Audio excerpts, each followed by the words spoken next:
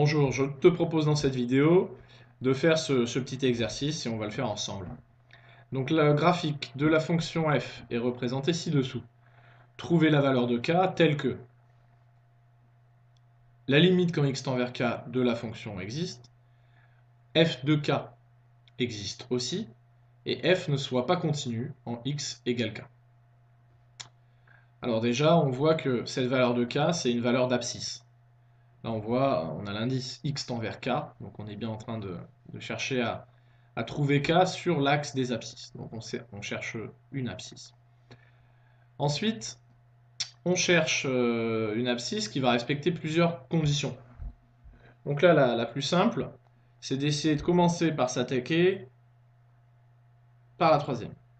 La troisième condition, on veut que f ne soit pas continu en x égale k. Donc visuellement, là on voit qu'il y a trois endroits notables où la fonction est discontinue. Ici, là il y a une première, euh, une première valeur de x. Ici, là encore il y a une discontinuité. Et ici, il y a un point de discontinuité, mais c'est bien une discontinuité aussi.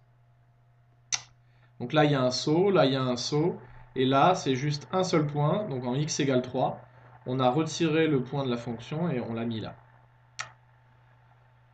Donc ça, c'est fait. Ensuite, on veut que f de x, f de k, pardon, existe.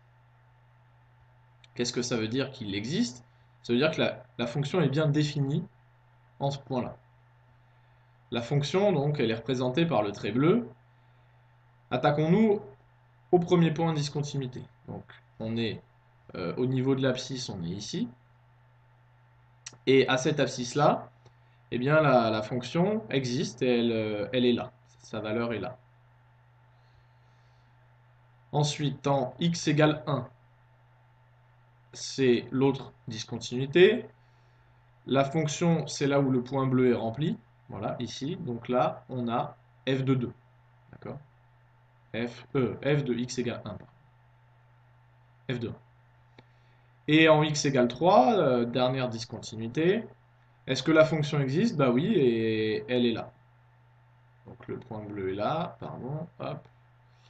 Et donc ça, c'est f de 3, x égale 3.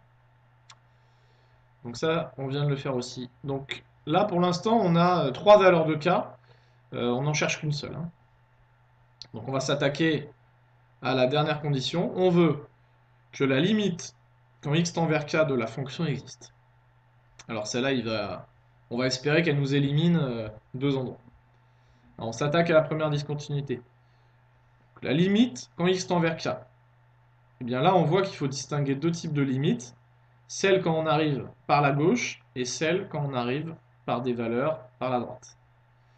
Donc là, on voit que la limite quand x tend vers k, quand x tend vers cette valeur, elle n'existe pas. Elle n'existe pas parce qu'il faut différencier la limite quand je viens de la gauche et quand je viens de la droite. Donc ici, elle n'existe pas. Pour ce point-là, c'est un saut. Donc pour la même raison qu'ici, elle ne va pas exister. La limite quand on arrive par la gauche, elle est là. Alors que la limite quand on arrive par la droite, elle est là. Donc en x égale 1, en x égale 1, la limite quand x tend vers 1 moins par les valeurs inférieures est différente de la limite de la fonction f de x, comme là, quand x tend vers 1 par les valeurs positives. Donc, la limite quand x tend vers 1 tout court n'existe pas. Donc là encore, elle n'existe pas. Donc finalement, bah, il faut espérer que c'est bien celui-là le, dernier qui va vérifier ça. Que vaut la limite quand x tend vers 3 par les valeurs négatives. C'est ce point-là, c'est ici. Et que vaut la limite quand x tend vers 3 par les valeurs positives?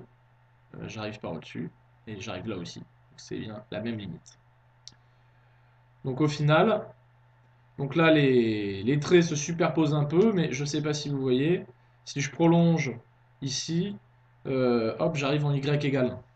Donc la limite, je peux l'écrire à côté, la limite de la fonction f quand x tend vers 3 est égal à, on l'a vu, 1. Donc elle existe et elle vaut 1. Donc au final, la seule solution qui respecte les trois conditions, c'est k égale 3.